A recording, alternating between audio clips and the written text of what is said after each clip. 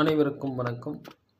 வள்ளுவரை சந்திப்போம் திருக்குறளை பற்றி சிந்திப்போம் என்ற கருத்தாக்கத்தில் நாம் திருக்குறளை அன்றாடம் கேள்வி மதியும் பதில் முறையில் பார்த்து வருகிறோம் இன்றைக்கு திருக்குறளை பற்றி பார்க்க போகிறோம். திருவள்ளுவரை சந்திப்போம். வணக்கம் வள்ளுவரை. தங்களுக்கு என்ன வேண்டும்? கற்றதினால் பயன் என்ன? கற்றதனால் ஆய பயனன்கொள் வாலறிவன் நற்றால் தொழாரெனில் கற்றதனுடைய பயன் நம்மை விட மிக கூர்மையான அறிவு உடையவன் இறைவன். அவனை நாம் தொழுவதே சிறந்த பயனாகும்.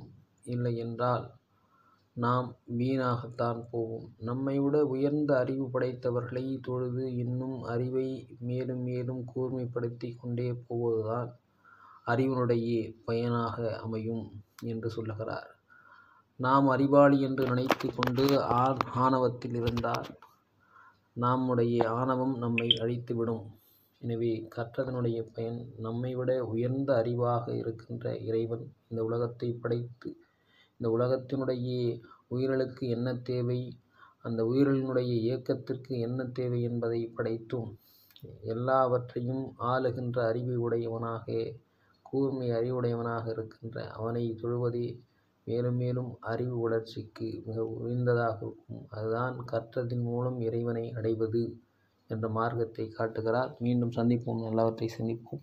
பிடித்திருந்தால் சப்ஸ்கிரைப் பண்ணுங்கள் லைக் பண்ணுங்கள் மறக்காமல் சப்ஸ்கிரைப் பண்ணிட்டு பாருங்கள் நன்றி.